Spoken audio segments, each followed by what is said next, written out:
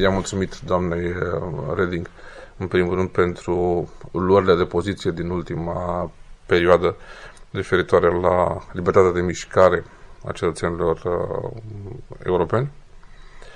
Um, am exprimat și în cadrul întâlnirii uh, cu doamna Reding, ca și uh, la întâlnirea de astăzi, uh, de la prânz pe parchetul uh, european, sprijinul nostru pentru ideea uh, înființării și funcționării parchetului uh, european.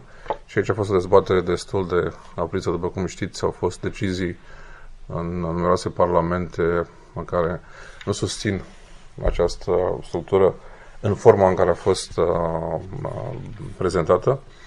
Noi susținem uh, ideea înființării pachetului uh, european, dar uh, evident că trebuie ținut cont de opiniile exprimate de parlamentele statelor uh, membre. Doamna vicepreședinte a făcut un document care a strâns la oaltă uh, opiniile statelor, uh, Parlamentul statelor membre și a formulat unele răspunsuri. Concluzia întâlnirii a fost uh, destul de clară. Va fi revăzut documentul inițial, așa fel încât el să poată găsi răspunsuri la spunem, preocupările Parlamentului statelor membre fără ca această instituție să pornească cu uh, sprijinul cât mai multor state membre, evident că nu va putea fi uh, eficientă.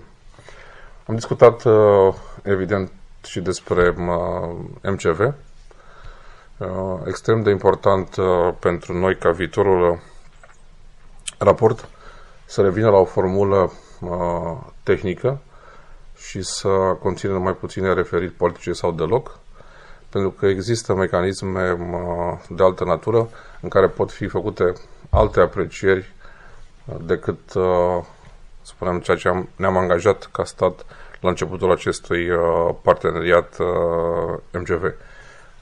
Putem să evaluăm funcționarea știrii din România pe mecanismele de scoreboard sau anticorupție 28 și este extrem de important, credem noi, să nu duplicăm în MCV proceduri care se regăsesc în alte mecanisme mm, europene.